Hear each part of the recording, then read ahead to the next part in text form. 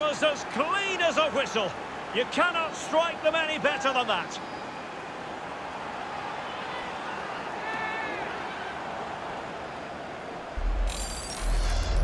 Well, here we can see it again. Look at the way he glides past the defender to create space for himself. But there's still plenty for him to do. Under all sorts of pressure from the defender, he's just able to keep him at bay and finishes with aplomb. It's a great goal.